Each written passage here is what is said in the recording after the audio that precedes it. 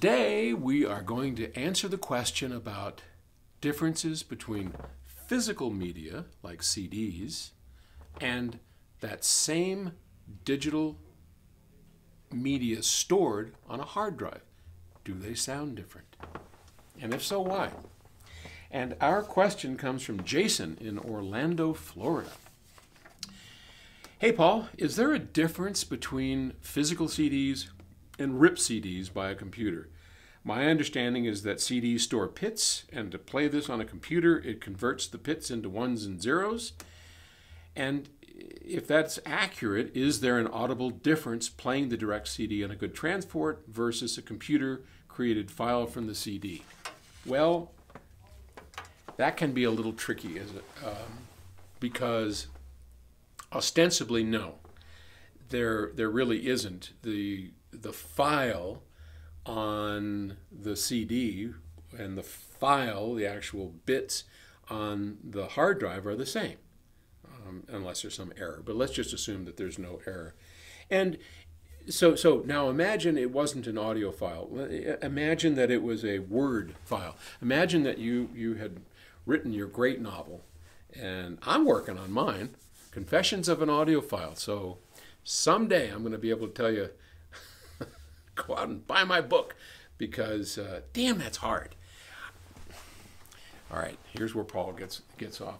So, you know, I write every day, and I've been doing it for five or six years, and I'm certainly no great writer, but I'm trying to put this book together, Confessions of an Audiophile, and, I, and I'm, I'm really happy with it. It's, it's coming along. But then it goes to an editor.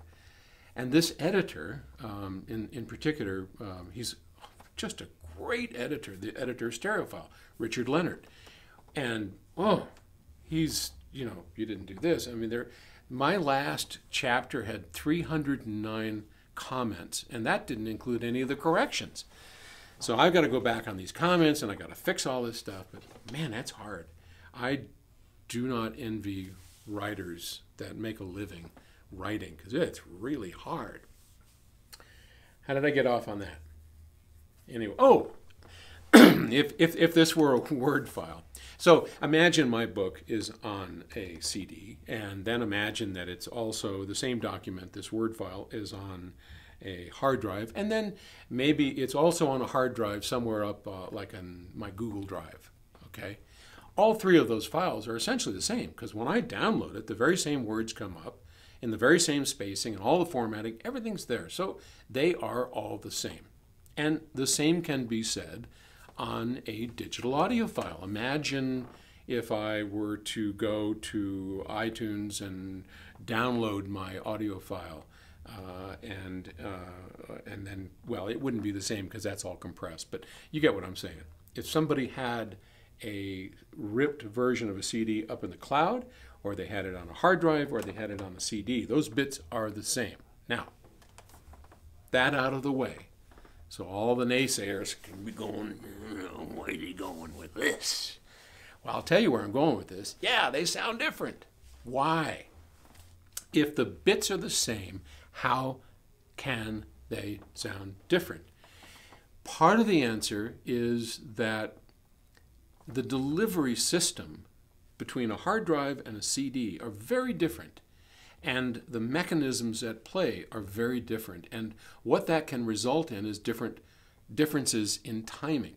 Okay? So now imagine, let's, let's look and see how this actually works. The source device, in this case, let's, let's look at a CD player. Okay? The source device of a, the CD player, what is it doing? Well, it's spinning up at about 600 RPM, the CD. It's then reading with a laser these bits. It's organizing them, and then it's spitting it out with a master clock. So in any of these systems, what, regardless of what the player might be, and, and regardless of what the source is, that source provides the master clock that then runs the DAC.